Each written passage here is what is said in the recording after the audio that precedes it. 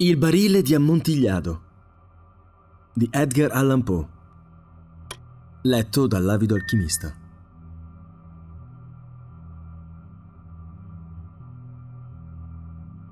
Avevo sopportato come meglio avevo potuto le mille offese di Fortunato. Ma quando egli si spinse fino ad insultarmi, giurai vendetta. Voi però che ben conoscete la natura del mio animo, non immaginerete certo che io possa aver espresso alcuna minaccia.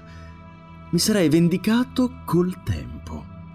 Questo lo avevo ben stabilito, ma la determinazione stessa con la quale avevo deciso di agire precludeva ogni idea di rischio. Non soltanto dovevo punire, ma dovevo farlo senza riportarne danno. Un torto non è riparato se la punizione ricade sul vendicatore e rimane ugualmente inespiato se il vendicatore non riesce a farsi riconoscere da colui che gli ha recato offesa. Voglio fare chiaramente intendere che non ho dato modo a Fortunato né con parole né con gesti di dubitare della mia buona disposizione d'animo nei suoi riguardi. Continuai, come era mia abitudine, a sorridergli ed egli non si accorse mai che il mio sorriso adesso nasceva dal pensiero del suo prossimo annientamento aveva un punto debole, questo fortunato, benché per gli altri versi fosse un uomo da incutere rispetto e persino paura, egli si vantava di essere gran conoscitore di vini. Pochi italiani hanno il temperamento del vero virtuoso. Di solito il loro entusiasmo è adeguato al tempo e alle circostanze e si affina soprattutto nel imbrogliare i milionari inglesi o austriaci. In fatto di pittura e di gemme, Fortunato, come tutti i suoi compatrioti, era un ciarlatano, ma in quanto a vini vecchi se ne intendeva. Sotto questo riguardo io non differivo molto da lui. Ero anch'io esperto di vini italiani e ne compravo in grande quantità ogni qualvolta mi era possibile. Fu verso l'imbrunire, in una sera in cui il carnevale al suo colmo impazziva nelle sue estreme follie, che io incontrai il mio amico. Mi si avvicinò con eccessivo calore, poiché aveva bevuto moltissimo. Era travestito da buffone. Indossava un abito aderente a strisce e in capo aveva il caratteristico berretto conico ornato di campanelli. Fui tanto più felice di vederlo, in quanto non avevo affatto immaginato di potergli stringere la mano. Gli dissi: Mio caro Fortunato, che fortuna incontrarti. Stai particolarmente bene quest'oggi. Ma io ho ricevuto un barile di quel che passa col nome di Ammontigliado. E ho i miei dubbi. Come? esclamò. Ammontigliado? Un barile? Impossibile. È proprio nel bel mezzo del carnevale. Ho i miei dubbi, replicai. E sono stato tanto sciocco da pagare il prezzo che mi hanno chiesto senza consultarti in merito ma non sono riuscito a trovarti. Avevo paura di perdere un buon affare. Ammontigliado. Ho, ho i miei dubbi. Ammontigliado. E vorrei diradarli. Ammontigliado? Dal momento che sei impegnato, me ne andrò da Lucresi.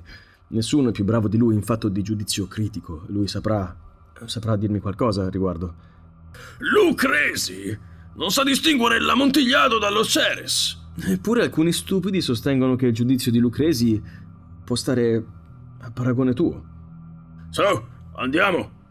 Dove? Nelle tue cantine. Eh, no, amico mio. Non abuserò certo della tua cortesia. Capisco che sei impegnato. Lucresi... Io non ho nessun impegno. Andiamo. No, caro, qui non si tratta di impegno, ma del brutto raffreddore di cui mi accorgo che sei afflitto. Le mie cantine sono umidissime, sono tutte incrostate di sal nitro. E andiamo lo stesso, a che importa? Il mio raffreddore è una. è una sciocchezza. Ammontigliato! Ti hanno imbrogliato. E quanto a Lucresi, ti ripeto che non è capace di distinguere lo Sheres dall'ammontigliato. Così dicendo, Fortunato si impadronì del mio braccio e io, dopo essermi coperto il volto con una maschera di seta ed essermi avvolto in un rochellure, acconsentì che mi spingesse verso il mio palazzo. I servi non erano in casa. Si erano tutti eclissati a festeggiare il carnevale. Avevo detto loro che non sarei rientrato sino al mattino seguente e avevo dato ordini espliciti affinché non si muovessero di casa.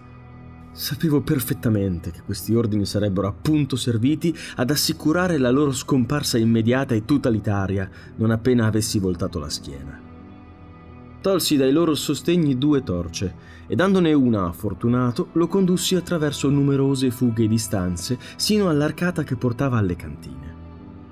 Mi avviai per una lunga scala a chiocciola, raccomandandogli di essere cauto nel seguirmi. Giungemmo alla fine ai piedi della scala e insieme ci soffermammo sul pavimento umido delle catacombe di Montresor. Il passo del mio amico era malfermo e i campanelli del suo berretto tintinnavano mentre egli avanzava barcollando. Il barile, disse. È più in là, risposi ma osserva il lavoro di ragnatele bianche che riluce sulle pareti di queste caverne. Si volse verso di me e mi fissò negli occhi con due orbite da cui scintillava il liquido malsano dell'intossicazione. Sal nitro? Mi chiese infine. Sal nitro, replicai. Da quanto tempo è quella tosse?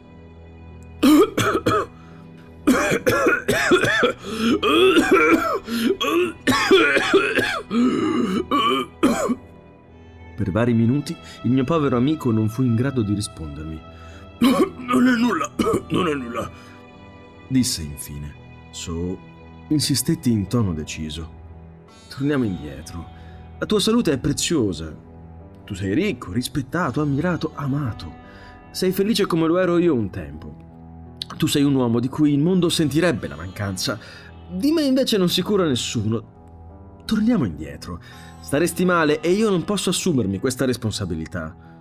D'altronde c'è Lucrezi. Basta! Mi interruppe Fortunato. La tosse è una sciocchezza. Non mi ammazzerà di sicuro. Non si muore di tosse. Certo. Um, certo. Risposi.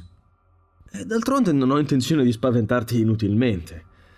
Ma vorrei che tu usassi tutte le cautele necessarie. Un sorso di questo Medoc ti proteggerà dall'umidità. Così dicendo, feci saltare il collo di una bottiglia che insieme a una lunga fila di sue compagne giaceva in mezzo alla muffa. Bevi, dissi presentandogli il vino. Egli lo portò alle labbra con un ghigno, poi fece una pausa e mi salutò con un cenno, amichevole mentre i suoi campanelli tintinnavano. Bevo, disse. Ai sepolti che riposano intorno a noi. Ed io bevo alla tua lunga vita. Egli mi prese nuovamente per il braccio e insieme proseguimmo. Questi sotterranei sono molto vasti, osservò. I Montresor, risposi, erano una famiglia grande e numerosa. Ho dimenticato il tuo stemma gentilizio. Mm, enorme piede umano d'oro in campo azzurro. Il piede schiaccia un serpente rampante i cui denti sono conficcati nel calcagno. E, e il motto? Nemo me impune la cessit. Bello! osservò. Il vino gli scintillava negli occhi e i campanelli tintinnavano. Anche la mia fantasia si era riscaldata col Medoc. Eravamo passati lungo sterminate pareti di scheletri ammonticchiati, mescolati a barilocci e a botti enormi, sin entro i più riposti recessi delle catacombe. Qui sostai di nuovo e quella volta mi avventurai sino a stringere Fortunato per il braccio, al di sopra del gomito. Eh, guarda, dissi, il salnitro aumenta, si distende sulle pareti come un muschio. Siamo al di sotto del letto del fiume qui. Le gocce di umidità scendono e scivolano in mezzo alle ossa. Su, torna indietro prima che sia troppo tardi. La tua tosse. Non è nulla! protestò. Andiamo avanti. Prima però voglio un altro sorso di, di Medoc. Stappai una bottiglia di Grave e gliela tesi.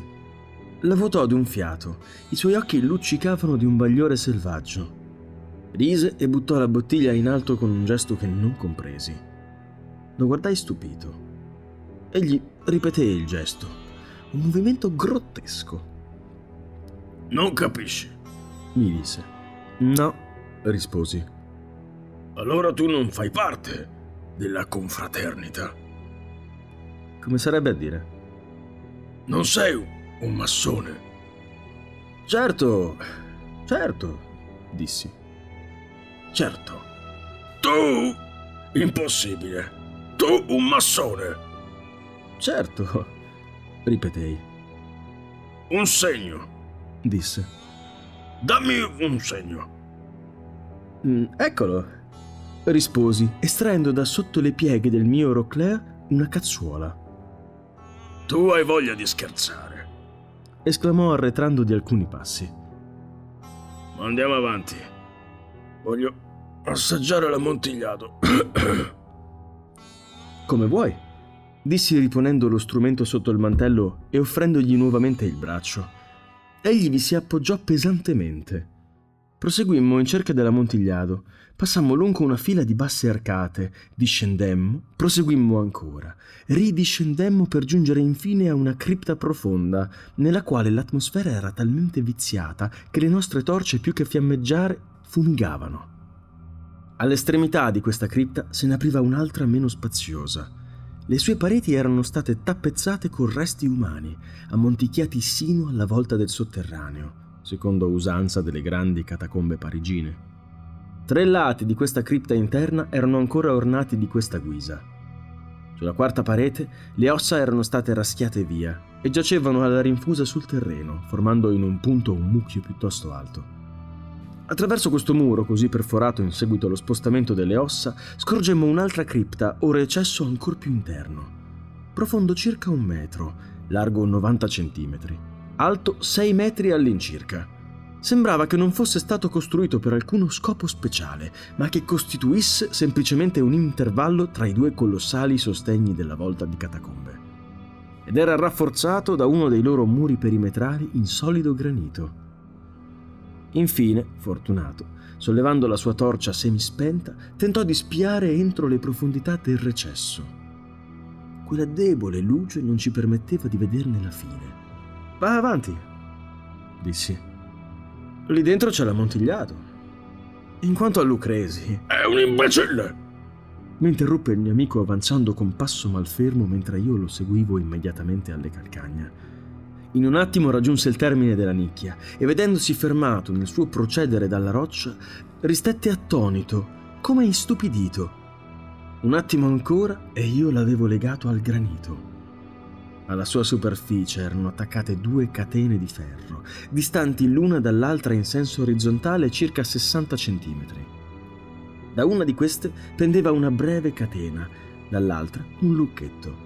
Bastarono pochi secondi a fargli girare le catene attorno alla vita e a saldarle.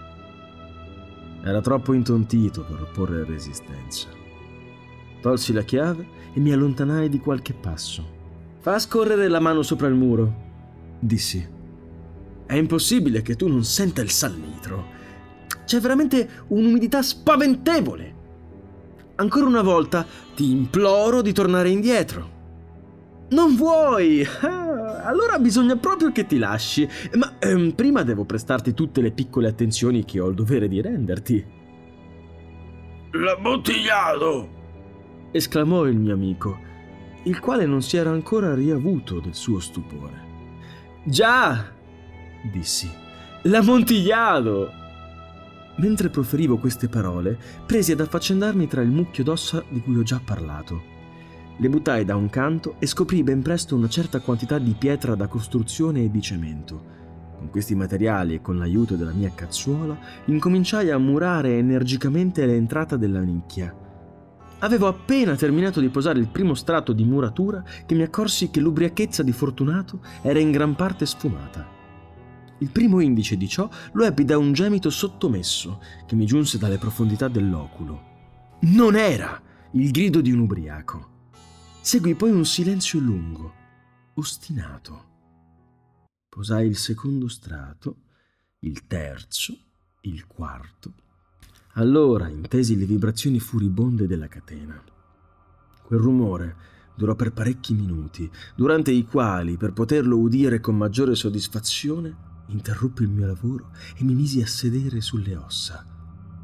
Quando finalmente quel clangore di catene cessò, presi nuovamente in mano la cazzuola e proseguii senza interruzioni. Il quinto, il sesto, il settimo livello. Il muro era ormai quasi a livello del mio petto. Sostai nuovamente e tendendo la torcia al di sopra dell'opera muraria, gettai i suoi deboli raggi sulla figura racchiusa.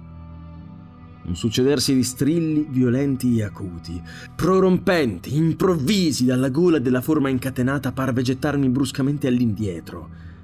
Per un breve attimo, sfoderando la mia spada, presi a volteggiare tastoni con essa torno torno alla cripta. Ma bastò un attimo di riflessione per rassicurarmi. Posai la mano sulla solida costruzione delle catacombe e mi sentii soddisfatto. Tornai ad avvicinarmi al muro e risposi alle urla dell'indemoniato. Le ripetei come un eco, le aiutai, le superai in volume e forza. Feci questo e lo schiamazzatore si tacque. Era ormai mezzanotte e la mia opera stava per terminare. Avevo completato l'ottavo, il nono e il decimo strato. Avevo finita una parete dell'undicesimo e ultimo. Non mi restava più da commettere e cementare che una sola pietra. L'ottavo con il suo peso la posai parzialmente nel suo posto designato, ma ecco giungermi dalla nicchia un riso sommesso che mi fece rizzare i capelli in capo. A questo seguì una voce triste che ebbi difficoltà a riconoscere per quella del nobile fortunato. La voce diceva eh, eh, eh, eh, Gran bello scherzo! Davvero? Una beffa magnifica! Ne faremo di risate a questo proposito a palazzo.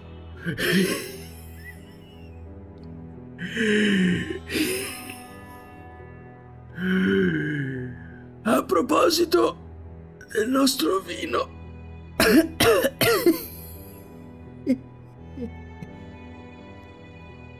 L'ammontigliato? dissi.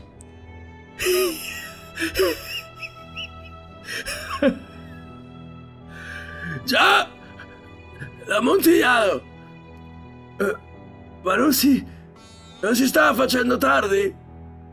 Non ci staranno aspettando al palazzo? Madonna Fortunato e gli altri. Andiamocene, dai. Già, gli dissi. Andiamocene. Per l'amor di Dio, Montressor! Già, ripetei. Per l'amor di Dio! Ma attesi invano una risposta a queste parole. Divenni impaziente. Chiamai forte. Fortunato! Nessuna risposta. Chiamai di nuovo. Fortunato! Ancora nessuna risposta. Infilai una torcia nel piccolo vano rimasto aperto e la lasciai cadere all'interno. Mi giunse in risposta soltanto un tintinnio di campanelli. Il mio cuore ebbe un brivido. Era l'umidità delle catacombe che produceva in me questo effetto mi affrettai a terminare la mia bisogna. A forza spinsi in un sito l'ultima pietra e la cementai. Contro la nuova opera muraria reinnalzai l'antico contrafforte d'ossa. Da mezzo secolo nessuna creatura mortale le ha più disturbate. In pace, requiescat.